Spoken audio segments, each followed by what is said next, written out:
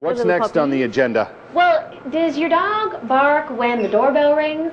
No, he kind of wonders, hey, what the heck is that? Because a lot of dogs do. Yeah. The doorbell rings and rah, rah, rah, they go all crazy. So that's what we're going to address right now. We've got Jeff back with us from Bark Busters Home Dog Training, and we've got the um, the other dog of the home. This is Lady up here, eight-year-old German Shepherd, and and she likes to to bark when people come to the door. She does. It- For a lot of dogs, uh, it it just has become a habit. Well, doorbell rings, they bark.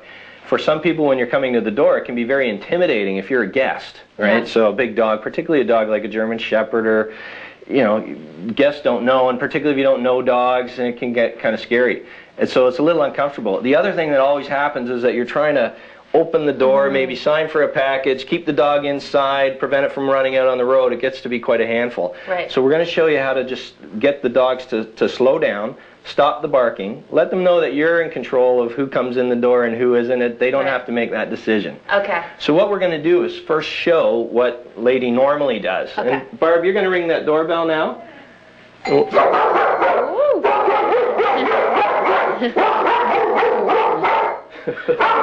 That's a good guard dog. She's a good guard. Yeah. okay. Okay. So we'll call her out. Come on, girl. Go on. It's okay. There Nobody's you go. here. Good. So Go see. That's girl. Good. so you get a pretty good idea of, of what's happening, and it's Yeah. pretty severe. Now, lady's eight, and she's probably been doing this since she's a very young girl, so it's an ingrained habit. Right. But even so, it's amazing what how quickly the dogs can learn when you get through to them in the right way. And the Okay. Bark Busters technique really focuses on getting through the dogs in a way they completely understand because it's a very natural system. So you can teach an old dog new tricks. Absolutely. So Okay. here's what we're going to do.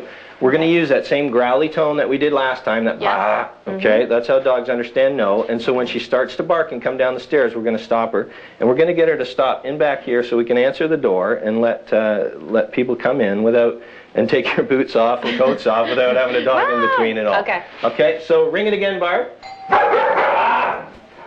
Good girl. Ah. Good. So just will you find that with your voice, you start to get that control. Ah, And she stopped almost instantly. So then what we can do is we'll go to the door and let people in. Ah. Good girl. And see how she stops. So come on in, Barb. Ah. Wow. She really responded to that. So you just. ah. So she's thinking about it, but now she's understanding that, okay, it's not my job to check out everyone that comes to the door. Right. You know, sometimes people they go, it's a good guard dog, but not too many burglars are ringing your doorbell, right? Yeah. You want them to alert you to everything They're not giving else. you, you noticed, yeah. Exactly. But this, it's amazing when you get through the dogs in the right way how quickly they can learn. And most of our, in, in the way we train, is teaching the humans of what to do. Like the dogs know Right. the rules, they respond instantly. It's trying to get the people to do it.